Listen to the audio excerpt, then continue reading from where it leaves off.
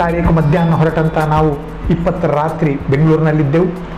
ಇಪ್ಪತ್ತೊಂದು ಬೆಳಿಗ್ಗೆ ಹೊರಟಂತ ನಾವು ಇಪ್ಪತ್ತೊಂದು ರಾತ್ರಿ ಅನಂತಪುರ ಕಾರ್ಯಾಲಯಕ್ಕೆ ಮುಟ್ಟಿದೆವು. ಇಪ್ಪತ್ತೊಂದು ಕಾರ್ಯಾಲಯ ಹೈದರಾಬಾದ್ ಕಾರ್ಯಾಲಯಕ್ಕೆ ಮುಟ್ಟಿದೆವು. ಇಪ್ಪತ್ತೆರಡು ಬೆಳಗ್ಗೆ ಹೊರಟ ಹೊರಟಂತಹ ನಾವು ಅಮರಾವತಿ ಮುಖಾಂತರ ನಾಗಪುರದ ಕೇಂದ್ರೀಯ ಕಾರ್ಯಾಲಯಕ್ಕೆ ಮುಟ್ಟಿದೆವು. ಇಪ್ಪತ್ತ ಮೂರರ ಮಧ್ಯಾಹ್ನ ಸುಮಾರಾಗಿ ಒಂದು ಐದು ಗಂಟೆ ಹೊತ್ತಿಗೆ ಅಲ್ಲಿ ಮುಟ್ಟಿದೆವು. ಅಲ್ಲಿ ಒಂದು ಸಣ್ಣ ಭೋಜನದ ವ್ಯವಸ್ಥೆ ನಮಗೆ ಹಿಂಬಾಗಿಲಿಂದ ಮಾಡಿದ್ದರು. ಇಡೀ ನಾಗಪುರಕ್ಕೆ ಕರ್ಫ್ಯೂ ಹಾಕಿ ಹಾಕಲಾಗಿತ್ತು. ಯಾವುದೇ ವಾಹನ ಓಡಾಟ ಇರಲಿಲ್ಲ. ನಮ್ಮ ಹತ್ರ ಈ ಅಸ್ಥಿ ಈ ಐದು ಮಾತ್ರ. ಕಾಲ ಕಾಲಕ್ಕೆ ಸಿಕ್ಕಿದಂತಹ ಪೆಟ್ರೋಲ್ ಬಂಕ್ಗಳಲ್ಲಿ ಡೀಸೆಲ್ ತುಂಬಿಸಿಕೊಳ್ತಾ ಇದ್ದೆವು.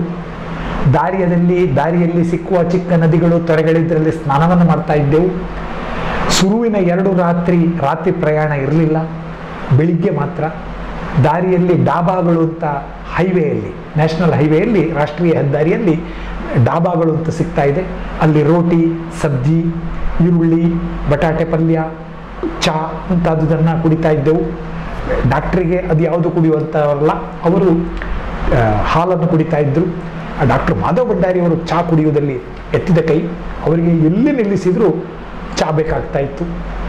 ನನಗೆ ಕುಡೂರು ಸುರೇಶಣ್ಣನಿಗೆ ನಮಗೆ ಯಾವುದು, ಎಷ್ಟೊತ್ತಿಗೆ ಯಾವುದು ಆಗುವಂಥ ಸ್ಥಿತಿಯಲ್ಲಿ ನಾವಿದ್ದವರು? ಎಳೆಯ ಪ್ರಾಯ ಇನ್ನೂ ಇಪ್ಪತ್ತು, ಇಪ್ಪತ್ನಾಲ್ಕು ವರ್ಷ.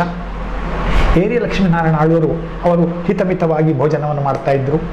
ಕುಡೂರು ಚಿಕ್ಕಪ್ಪ, ನನಗೆ ಚಿಕ್ಕಪ್ಪ ಆಗ್ತಾರೆ ಅವರು, ಕುಡೂರು ಕೃಷ್ಣ ಭಟ್ರು ಅವರು ವಿಶೇಷವಾಗಿ ಉತ್ತರ ಭಾರತದ ತಿಂಡಿ ಅವರಿಗೆ ಅಷ್ಟು ರುಚಿಸ್ತಾ ಇರಲಿಲ್ಲ. ಅವರು ಅನ್ನ, ಮೊಸರು, ಉಪ್ಪಿನಕಾಯಿ. ಇದು ಸಿಗ್ತಾ ಇತ್ತು ಬೇರೆ ಬೇರೆಯಾಗಿ. ಅಲ್ಲಿ ದಹಿ, ಮೊಸರು ಬಹಳ ಒಳ್ಳೆಯ ಮೊಸರು ಉತ್ತರ ಭಾರತದಲ್ಲಿ. ಬೆಳತಿಗೆ ಅನ್ನ, ಅದು ಅವರಿಗೆ ರುಚಿಸ್ತಾ ಇತ್ತು. ಅವರು ಅನ್ನ ಮೊಸರನ್ನು ಊಟ ಮಾಡ್ತಾ ಇದ್ರು. ಈ ರೀತಿ ಕೇಂದ್ರೀಯ ಕಾರ್ಯಾಲಯಕ್ಕೆ ಹೋದೆವು.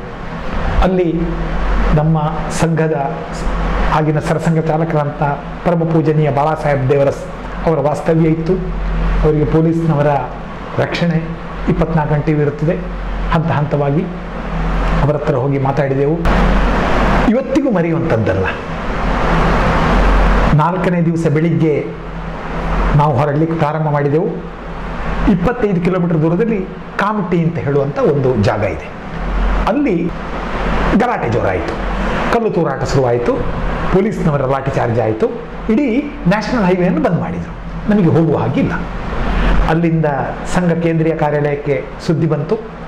ಇವತ್ತು ಈಗ ಮಧ್ಯಾಹ್ನ ಮೂರು ಗಂಟೆವರೆಗೆ ಆ ಕರ್ನಾಟಕದ ವಾಹನವನ್ನು ಮುಂದೆ ಬಿಡಬೇಡಿ ಅಂತ ಹೇಳುವಂಥ ಸೂಚನೆ ಬಂತು. ನಾವು ಬಾಳಾಸಾಹೇಬ್ ಜಿ ಅವರೊಟ್ಟಿಗೆ ಮಾತುಕತೆ ಮಾಡ್ತಾ ನಾವು ಸಂಘ ಕಾರ್ಯಾಲಯದಲ್ಲಿ ಉಳ್ಕೊಂಡೆವು.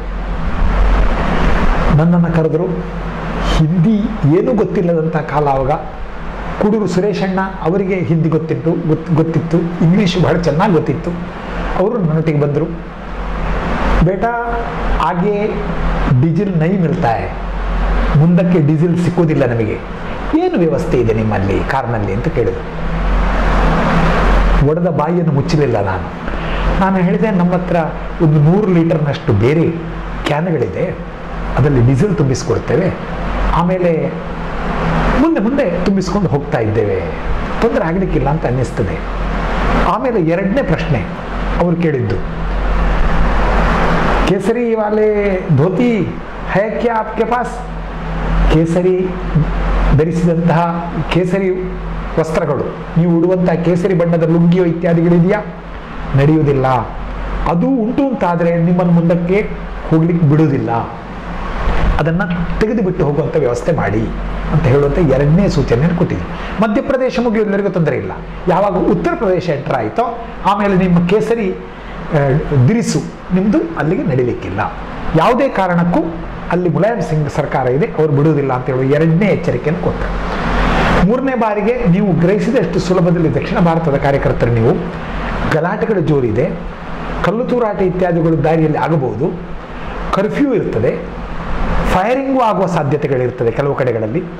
ಯಾವ ಕಾರಣಕ್ಕೂ ಕಾರಣ ಗಲಾಟೆ ಆಗ್ತದೆ ಅಂತ ನಿಲ್ಲಿಸಬೇಡಿ ಉಳ, ಒಳದಾರಿಯಲ್ಲಿ ಹೋಗಿ ಆಮೇಲೆ ನೀವು ಮುಖ್ಯ ದಾರಿಗೆ ಬರ್ತೇವೆ ಅಂತ ಯಾವುದೇ ಸಾಹಸವನ್ನು ಮಾಡಬೇಡಿ. ಮುಖ್ಯ ದಾರಿಯಲ್ಲಿಯೇ ಹೋಗಿ. ಯಾವ ಪೊಲೀಸ್ನವರು ಕೇಳಿದ್ರು, ನಿಮ್ಮ ಈ ಒಂದು ನಾಟಕ ಇಷ್ಟರವರೆಗೆ ನಿಮ್ಮನ್ನೇನು ಕಾಪಾಡಿದೆ? ಈ ಅಸ್ಥಿ, ಅದನ್ನೇ ತೋರಿಸಿ. ಯಾವ ಕಾರಣಕ್ಕೂ ನಿಮ್ಮ ಪರಿಚಯವನ್ನು ಹೇಳಬೇಡಿ. ದಕ್ಷಿಣ ಕರ್ನಾಟಕದಿಂದ ಬಂದವರು ಕರ್ನಾಟಕದಿಂದ ಬಂದವರು ಕಾಶಿಗೆ ಹೋಗುವರು ಇಷ್ಟೇ ಹೇಳಿ ಅಂತ ಹೇಳಿದರು. ಮಾತ್ರ ಅಲ್ಲ, ಉತ್ತರ ಪ್ರದೇಶಕ್ಕೆ ನೀವು ಸೇರಿದ ನಂತರ ಅಲ್ಲಿ ಹನುಮಾನ ಅನ್ನುವಂಥ ಒಂದು ಜಿಲ್ಲೆಯ ಜಿಲ್ಲಾ ಕೇಂದ್ರ ಇದೆ. ಅಲ್ಲಿ ಒಳಗೆ ಹೋಗುವಾಗಲೇ ಸರ್ವೋ ಕಂಪನಿಯ ಒಂದು ಪೆಟ್ರೋಲ್ ಬಂಕ್ ಸಿಗ್ತದೆ. ಅದು ನಮ್ಮ ಕಾರ್ಯಕರ್ತರದ್ದು. ಅಲ್ಲಿಗೆ ದೂರವಾಣಿ ಮುಖಾಂತರ ನಾವು ನಿಮ್ಮ ಕಾರ್ನ, ವಾಹನ ನಂಬರವನ್ನು ಕೊಟ್ಟಿರ್ತೇವೆ ಅಲ್ಲಿ ಕೊನೆಯ ಬಾರಿಗೆ ನಿಮಗೆ ಡೀಸೆಲ್ ಸಿಗ್ತದೆ. ಆಮೇಲೆ ನೀವು ನಾನ್ನೂರ ಎಂಬತ್ತು ಕಿಲೋಮೀಟರ್ನಷ್ಟು ಹೋಗಬೇಕಾಗ್ತದೆ. ಅಲಹಾಬಾದಿಗೆ. ಅಲಹಾಬಾದಿಂದ ನೀವು ಸುಮಾರು ನೂರ ಅರವತ್ತರಿಂದ ನೂರ ಎಂಬತ್ತು ಕಿಲೋಮೀಟರ್ನಷ್ಟು ಸುಲ್ತಾನ್ಪುರಕ್ಕೆ ಹೋಗಬೇಕಾಗ್ತದೆ. ಅದರಿಂದ ಮುಂದೆ ನಿಮ್ಮ ಚಾಕಚಕ್ಯತೆಯಲ್ಲಿ ನೀನು ಅಯೋಧ್ಯೆಗೆ ಹೋಗಬೇಕಾಗ್ತದೆ. ಎಲ್ಲಿ ಕೂಡ ನಿಮಗೆ ಡೀಸೆಲ್ ಸಿಗೋದಿಲ್ಲ. ಹಾಗಾಗಿ ಹನುಮಾನದಲ್ಲಿ ಕೊನೆಯ ಬಾರಿಗೆ ನಿಮ್ಮ ಎಲ್ಲ ಕ್ಯಾನ್ಗಳಲ್ಲಿ, ಕಾರ್ನಲ್ಲಿ ಇಂಧನವನ್ನು ತುಂಬಿಕೊಳ್ಳಿ. ಚಿಕ್ಕ ಚಿಕ್ಕ ಸಂಗತಿಯನ್ನು ಕೂಡ ಶ್ರದ್ಧೆಯಿಂದ ಗಮನವಿಟ್ಟು ಮಾಡಿದಲ್ಲಿ ಮುಂದಿನ ಎಲ್ಲ ಅನಾಹುತಗಳನ್ನು ಅದು ನಿರ್ನಾಮ ಮಾಡಿ ನಮ್ಮನ್ನು ಜಯದ ಹಾದಿಯತ್ತ ಕೊಂಡೋಗ್ತದೆ. ಅದಕ್ಕೋಸ್ಕರ ಸ್ವರ್ಗೀಯ ಅಜಿತ್ ಕುಮಾರ್ ಅಂತವರು ಕೂಡ ಹೇಳ್ತಾ ಇದ್ದಂಥದ್ದು, ಸಣ್ಣ ಸಣ್ಣ ವಿಷಯಗಳ ಬಗ್ಗೆ ಅಸಡ್ಡೆ ಬೇಡ. ಅದನ್ನು ಮಾಡಿಕೊಳ್ಳಿ. ಅದರ ಮುಖಾಂತರ ನೀವು ಫಲವನ್ನು ಪಡೀತೀರಿ. ಮಧ್ಯಾಹ್ನ ಮೂರು ಗಂಟೆಗೆ ಕೇಂದ್ರೀಯ ನಾಗಪುರದ ಕಾರ್ಯಾಲಯದಿಂದ ಹೊರಟೆವು. ರಾತ್ರಿ ಪ್ರಯಾಣ. ಆ ದಿವಸ ರಾತ್ರಿಯಿಂದ ನಂತರ ರಾತ್ರಿ ಪ್ರಯಾಣವೂ ಶುರುವಾಯಿತು. ನಾನು ಮತ್ತೆ ಕೂಡೂರು ಸುರೇಶಣ್ಣ ವಿಶೇಷವಾಗಿ ಡಾಕ್ಟರ್ ಮದಬಂದಾರಿಯವರಿಗೂ ಆವಾಗ ಡ್ರೈವಿಂಗ್ ಗೊತ್ತಿತ್ತು, ಅವರ ಹತ್ರ ವಾಹನ ಇತ್ತು. ಕೂಡೂರು ಕೃಷ್ಣ ಭಟ್ರಿಗೆ ಗೊತ್ತಿತ್ತು, ಆದರೆ ವಯಸ್ಸು ಆಗಿತ್ತು. ಮತ್ತು ಆ ಅತ್ಯಂತ ಕೆಟ್ಟ ಹೈವೇಯಲ್ಲಿ ಹೋಗುವಂಥದ್ದು ವಾಹನದ ಅಡಿಭಾಗಕ್ಕೆ ತಾಗದಾಗ ಹೋಗುವಂಥದ್ದು ಅದೊಂದು ಸವಾಲಾಗಿತ್ತು. ಕೆಲವು ಕಡೆ ಅಂತೂ ಗಂಟೆಗೆ ನಲವತ್ತೇ ಕಿಲೋಮೀಟರ್ ಹೋಗ್ಲಿಕ್ಕೆ ಸಾಧ್ಯ ಆಗ್ತಾ ಇತ್ತು. ಕೆಲವು ಕಡೆ ಇಪ್ಪತ್ತೇ ಕಿಲೋಮೀಟರ್ ಹೋಗ್ಲಿಕ್ಕೆ ಸಾಧ್ಯ ಆಗ್ತಾ ಇತ್ತು. ಕೆಲವು ಕಡೆ ನಲ್ವ, ಐವತ್ತು, ಐವತ್ತೈದು ಕಿಲೋಮೀಟರ್ವರೆಗೂ ಹೋಗ್ಲಿಕ್ಕೆ ಸಾಧ್ಯ ಆಗ್ತಾ ಇತ್ತು. ರಾತ್ರಿ ಹಗಲು ಪ್ರಯಾಣವನ್ನು ಮಾಡಿದೆವು.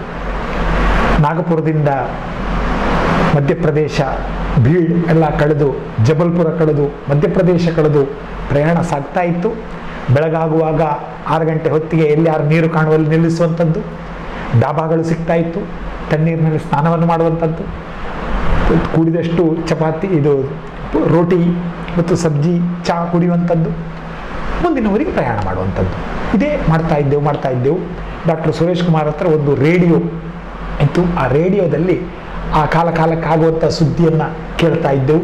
ಇಂಗ್ಲೀಷ್ನಲ್ಲಿ, ಹಿಂದಿಯಲ್ಲಿ ಬರ್ತಾ ಇತ್ತು. ಆಮೇಲೆ ಏನು ನಾವು ಉತ್ತರ ಪ್ರದೇಶದ ಗಡಿ ಹನುಮನ ಮುಟ್ಟಿದೆವೋ, ಆ ಮುಟ್ಟುವಾಗ ಸರಸಂಘ ಚಾಲಕರು ಹೇಳಿದಂತಹ ಪೆಟ್ರೋಲ್ ಬಂಕಿಗೆ ಹೋದೆವು. ಅಲ್ಲಿ ಎಲ್ಲ ಸಾಧ್ಯ ಇದ್ದಷ್ಟು ಡೀಸೆಲ್ ತಪ್ಪಿಸ್ಕೊಂಡೆವು, ಗಾಳಿ ಚೆಕ್ ಮಾಡಿಕೊಂಡೆವು, ವಾಹನಕ್ಕೆ ಆಯಿಲ್ ಹಾಕ್ಕೊಂಡೆವು. ಅಲ್ಲಿ ನಮಗೆ ಪೆಟ್ರೋಲ್ ಬಂಕಲ್ಲಿ ಸೂಚನೆಯನ್ನು ಕೊಟ್ಟರು, ನಿಮ್ಮದು ಯಾವುದಾದ್ರು ಕೇಸರಿ ಕಂಬಾಯಿಯೋ ದಿರಿಸೋ ಇದ್ದರೆ ಶಾಲು ಇತ್ಯಾದಿ ಇದ್ದರೆ ಅದನ್ನು ಕಾರ್ನಲ್ಲಿ ಒಂದೋ ಇಲ್ಲಿ ತೆಗೆದುಬಿಡಿ ಅಲ್ಲದಿದ್ದರೆ ಕಾರ್ನಲ್ಲಿ ಅಡಗಿಸಿಡಿ ಅಂತ ಹೇಳಿದರು. ಹನುಮನ ಪೆಟ್ರೋಲ್ ಬಂಕಿನಲ್ಲಿ ಒಂದು ತೊಟ್ಟೆಯಲ್ಲಿ ನನ್ನ ಹತ್ರ ಇರುವಂಥ ಡಾಕ್ಟರ್ ಹತ್ರ ಇರುವಂತಹ ಆಳ್ವರ ಹತ್ರ ಇರುವಂತಹ, ಎಲ್ಲರ ಹತ್ರ ಇರುವಂತಹ ಕೇಸರಿ, ಶಾಲು, ಲುಂಗಿ ಇತ್ಯಾದಿಗಳನ್ನು ಕಟ್ಟಿ ಅದನ್ನು ಅಯ್ಯೋ, ಆ ಒಂದು ಪೆಟ್ರೋಲ್ ಬಂಕಲ್ಲಿ ಇಟ್ಟು ಸಾಧ್ಯ ಇದ್ದರೆ ಬರುವಾಗ ತಗೊಡುತ್ತೇವೆ ಅಂತ ಹೇಳಿ ಬಿಳಿ ಬಟ್ಟೆ ಇತ್ಯಾದಿಗಳನ್ನು ಉಳಿದಂತೆ ಬಟ್ಟೆಯ ಸುತ್ತಿಕೊಂಡು ನಾವು ಮುಂದಕ್ಕೆ ಹೊರಟೆವು.